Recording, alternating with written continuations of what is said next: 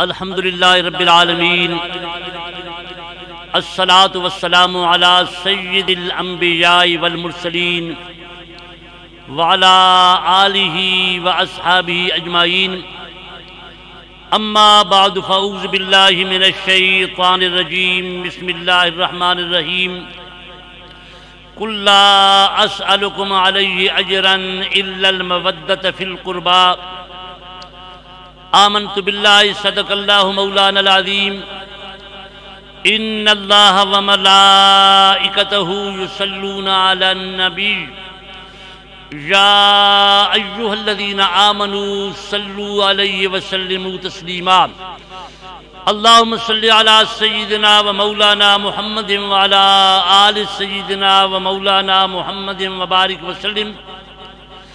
السلام والسلام علیکہ یا رسول اللہ وعلا آلکہ و اصحابکہ یا حبیب اللہ دوست بزرگوں آج کی یہ تقریب حضرت پیر قبلہ سید سید امیر شاہ صاحب رحمت اللہ علیہ کے عرس کے سلسلے میں اہتمام اس تقریب کا کیا گیا ہے۔ عرس کیوں مناتے ہیں؟ اس کی خوشی کیوں کرتے ہیں؟ عرس کی تقریب تو ہوتی ہے، لیکن خوشی کا مقام کیوں ہوتا ہے؟ زمانے کا دستور ہے، جو مسلمان حج کے لیے جاتا ہے، عمرہ ادا کرنے کے لیے جاتا ہے۔ روض رسول صلی اللہ علیہ وسلم پر حاضری کے لیے روانہ ہوتا ہے۔ اس خوشی کے موقع پر اسی ہار پہناتے ہیں کیونکہ نیک سفر پر روانہ ہو رہا ہے۔ اور جب روض رسول صلی اللہ علیہ وسلم کی زیارت کے بعد واپس آتا ہے، اس کی عزت کرتے ہیں، احترام کرتے ہیں۔ وجہ کیا ہے کہ حضور صلی اللہ علیہ وسلم کا فرمان آئے منظار قبری وجبت لہو شفاعتی جس نے میرے قبر کی زیارت کی روز انور پر حاضری دی، اس کے لیے میری شفاعت واجب ہو گئی ہے۔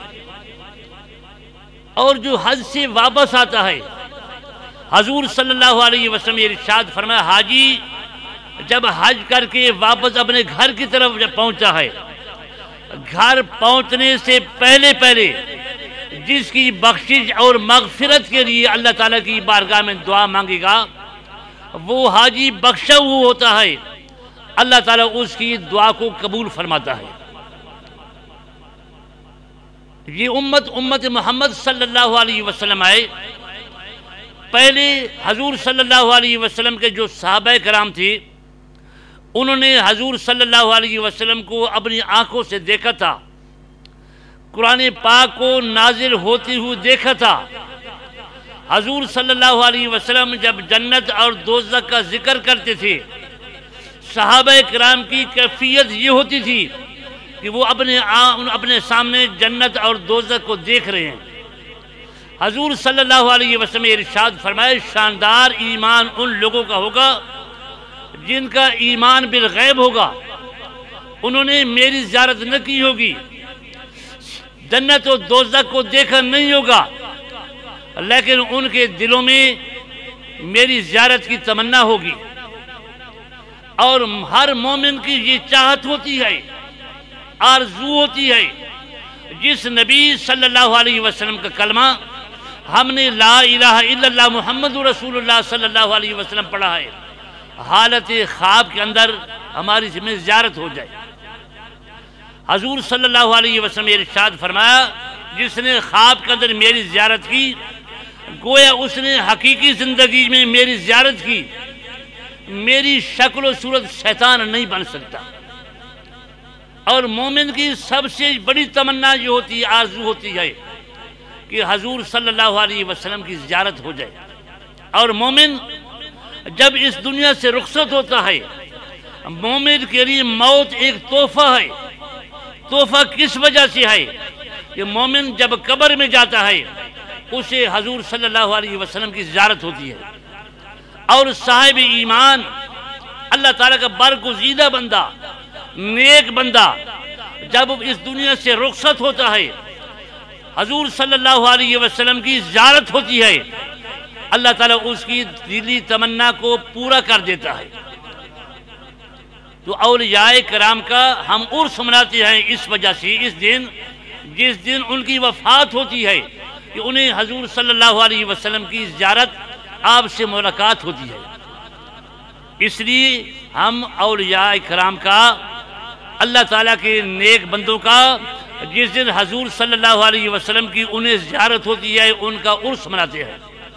اور عرس کے اندر حضور صلی اللہ علیہ وسلم کے سیرت پاک کے تذکرے ہوتے ہیں۔ یہ عرس پاک حضور صلی اللہ علیہ وسلم اور حضرت شیر خدا رضی اللہ تعالیٰ عنہ، آپ کی اولاد میں سے سادات کا عرس پاک ہے۔ اور حضور صلی اللہ علیہ وسلم کی بارگاہ کے اندر صحابہ کرام حاضر ہوئے۔ انہوں نے اپنے دل میں یہ خیال کیا کہ حضور صلی اللہ علیہ وسلم کے گھر کے بہت زیادہ اخراجات ہیں، سائل آتے ہیں۔ دنیا کا مال و متا لے کر بارگاہ رسالت صلی اللہ علیہ وسلم میں حاضر ہوئے۔ یا رسول اللہ صلی اللہ علیہ وسلم، یہ آپ کے لیے ہم مال و مطالعہ ہیں۔ آپ کی وجہ سے ہمیں ایمان ملا ہے، ہمیں قرآن ملا ہے، ہمیں رمضان ملا ہے۔ اللہ تعالیٰ نے مرتب، مرتبہ و مقام عطا فرمایا ہے۔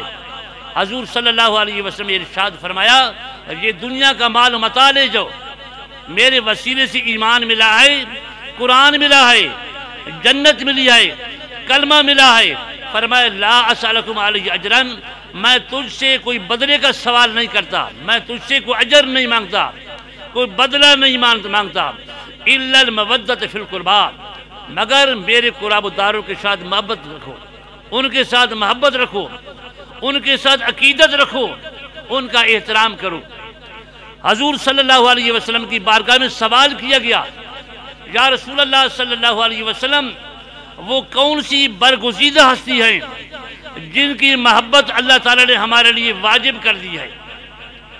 حضور صلی اللہ علیہ وسلم نے ارشاد فرمایا کالا علیوں و فاطمتوں و ولدہما۔ حضرت شیر خدا رضی اللہ تعالیٰ عنہ، حضرت خاتون جنت، حضرت حسنین کریمین کی محبت اللہ تعالیٰ نے تمہارے لیے واجب کر دی ہے۔ اور حضور صلی اللہ علیہ وسلم حدیث پاک میں آتا ہے آپ نے اپنے حسنین کریمین کو دیکھا۔ آپ نے ارشاد فرمایا، جنت کے نوجوانوں کے یہ سردار ہیں۔ میرے پاک نبی صلی اللہ علیہ وسلم حضرت علی المرتضیٰ کے گھر میں تشریف لے گئے۔ حسنین کریمین بیمار تھے۔ حضور صلی اللہ علیہ وسلم نے ارشاد فرمایا، اللہ تعالیٰ کی بارگاہ میں منت مانگو۔ اللہ تعالیٰ شفاعتہ فرمائے گا۔ تو اللہ تعالیٰ کی رضا کی خاطر تین روزے رکھو گے۔ حضرت علی المرتضی رضی اللہ تعالیٰ عنہ، حضرت خاتون جنت نے منت مانی۔ اللہ تعالیٰ نے ہمارے بیٹوں کو شیعت عطا فرمائی۔ رب تعالیٰ کی رضا کی خاطر ہم تین دن روزے رکھیں گے۔ جب پہلا روزہ رکھا، حضرت خاتون جنت نے چکی پی پیسی اور چکی پیس کر کھانا تیار کیا۔ پہلا روزہ رکھا۔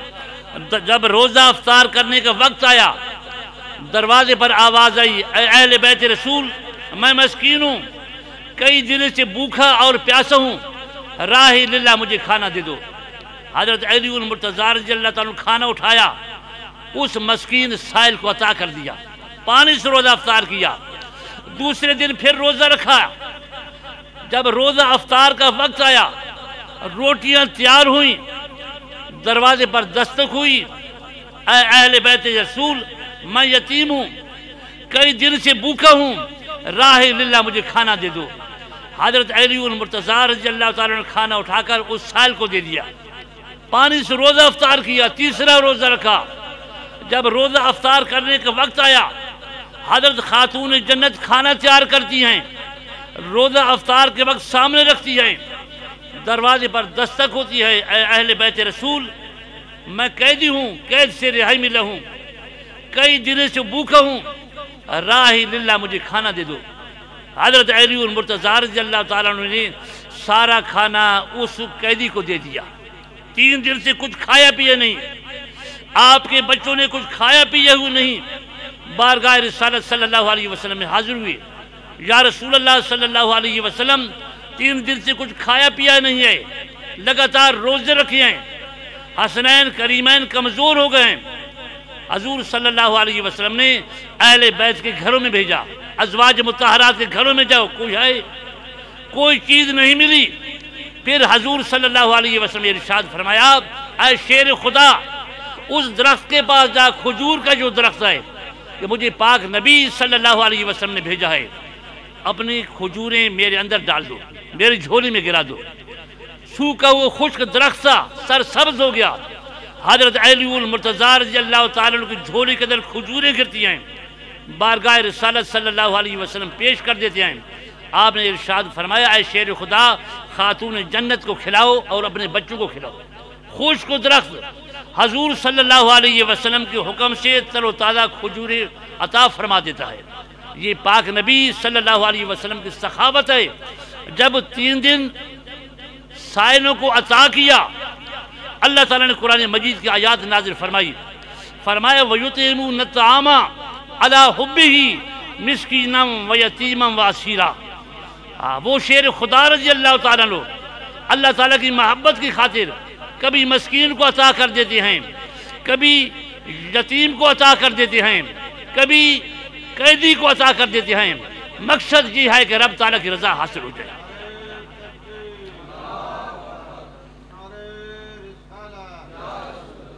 حضور حضور صلی اللہ علیہ وسلم کا سارا گھرانہ سخی ہے۔ حضور صلی اللہ علیہ وسلم کی بارگاہ میں سائل حاضر ہوا۔ آپ نے کبھی لا نہ کہا، جو کچھ چاہا آپ نے عطا فرما دیا۔ ایک دن ایک سائل حاضر ہوا۔ یا رسول اللہ صلی اللہ علیہ وسلم، آپ کے پاس جو مال اللہ تعالیٰ نے عطا کیا ہے، دو پہاڑوں کے درمیان جو وادی ہے وہ بکریوں سے بھری ہوئی ہے۔ اے اللہ تعالیٰ کے رسول صلی اللہ علیہ وسلم مجھے عطا کرے۔ حضور صلی اللہ علیہ وسلم کو اللہ تعالیٰ کی طرف سے حکم تھا۔ وَأَمَّا السَّائِلَ فَلَا تَنْهَرْ سائل کو مت چھڑکو جو کچھ سائل مانگے عطا کر دو۔ حضور صلی اللہ علیہ وسلم نے دو وادیوں کے درمیان جو بکریاں تھی آپ نے سائل کو عطا کر دی۔ سائل اپنے قوم اور قبیلے کے پاس گیا۔ اے لوگوں اسلام قبول کرو۔ محمد عربی صلی اللہ علیہ وسلم اتنا عطا فرماتے ہیں کہ کبھی فقر و فاقہ کا خیال بھی پھر نہیں آتا زندگی پر۔ سخی دروازہ حضور صلی اللہ علیہ وسلم کا۔ پھر دوسرا دروازہ سخی حضور صلی اللہ علیہ وسلم کے اہل بیت کا۔ حدیث سے باقی میں آتا ہے، سخاوت کے شہنشاہ حضرت امام حسن رضی اللہ تعالیٰ عنہ، حضرت امام حسین رضی اللہ تعالیٰ عنہ اور حضور صلی اللہ علیہ وسلم کے قرابہ دار حضرت عبداللہ ابن جعفر رضی اللہ تعالیٰ عنہ حج کرنے کے ارادے سے سرزمین مدینہ سے روانہ ہوتے ہیں۔ آپ کا کھانے پینے کا جو سامان تھا، وہ کافرے کے ساتھ تھا۔ آپ تینوں کافرے سے آگے تھے۔ اب سخاوت کے تینوں شہنشاہ ہیں۔ حضرت امام حسن سخاوت کے شہنشاہ، حضرت امام حسین سخاوت کے شہنشاہ، حضرت عبداللہ ابن جعفر سخاوت کے شہنشاہ۔ جب آپ کو پیاس لگی ایک بستی میں گئے، بستی میں ایک عورت سے پوچھا احمد جی ہم پیاسے آئیں، پانی پلاؤ. اس عورت نے کہا، پانی تو نہیں ہے، بکری کا دودھ پلاتی ہوں. عورت نے بکریوں کا دودھ دوہیا، تینوں شہنشاہ سخاوت کو پلا دیا۔ پھر آپ نے پوچھا احمد جان، کوئی چیز کھانے کے لیے ہے؟ اس عورت نے عرض کی نورانی چہرے شکل و صورت والے، اور تو کچھ نہیں ہے میرے گھر کے اندر۔ اسی بکری کو ذبح کر دو، میں تمہارے لیے کھانا پکاتی ہوں۔ اس عورت نے بکریوں کو ذبح کر کے حضرت امام حسین نے اس عورت کو دی۔ اس نے کھانا پکا کر شہنشاہ سخاوت کے سامنے رکھ دیا۔ آپ کھانا کھا کر سرز مدینہ مدینہ کی طرف چل گئے۔ شام کا وقت ہوا۔ اس عورت کا خامد گھر میں آیا۔ پوچھا، بکری کہاں ہے؟ اس عورت نے کہا بکری تو میں نے مہمانوں کو ذبح کر کے کھلا دی ہے۔ خامد نے کہا، اے عورت، جن مہمانوں کو جانتی پہچانتی نہیں ہے، جن کا نام کا تجھے پتہ تک نہیں ہے، اجنبی مہمانوں کو تو نے بکری کھلا دی ہے۔ عورت نے کہا کہ شکل و صورت سے بڑے وفادار لگتے تھے۔ ان کو حسن جمال کو دیکھ کر میں نے مہمانی کی ہے۔ حضرت امام حسن، حضرت امام حسین، حضرت عبداللہ بن جعفر حج کر کے واپس سرزمین مدینہ کی طرف چلے جاتے ہیں۔ عرصہ دراز ہوتا ہے، زمانہ بدلتا ہے۔ وہ عورت اور اس کا مرد سرزمین مدینہ پر مزدوری کرنے کے لیے آتے ہیں۔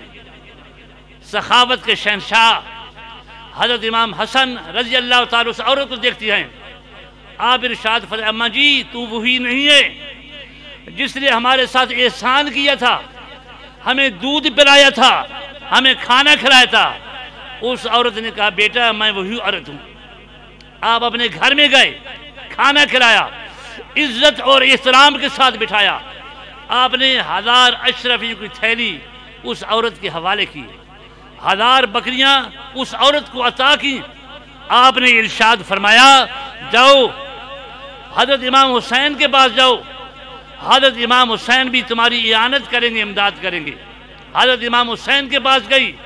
حضرت امام حسین نے ایک ایک ہزار اشرفیاں، ایک ہزار بکریاں عطا کر دی آپ نے ارشاد فرمایا، ساری زندگی آرام اور سکون کے ساتھ گزار۔ تو نے اہل بیت رسول کی خدمت کی جائے پھر حضرت عبداللہ ابن جعفر کے پاس گئی۔ حضرت عبداللہ ابن جعفر نے دو ہزار اشرفیاں، دو ہزار بکریاں عطا فرمائی۔ آپ نے ارشاد فرمایا، اے سادات کی خدمت کرنے والی، یہ تو دنیا کا مال و متا ہم نے عطا کر دیا ہے۔ قیامت کے دن ہم جو کچھ تو مانگے گی اللہ تعالیٰ کی بارگاہ میں تیری شفاعت کریں گے۔ سادات بڑے سخی اور بڑے صابر ہوتے ہیں۔ اللہ تعالیٰ کی بارگاہ میں یہی دعا ہے کہ اللہ تعالیٰ ہم ہمیں سادات کا ادب اور احترام، ان کے ساتھ عقیدت اور محبت کرنے کی توفیق عطا فرمائے۔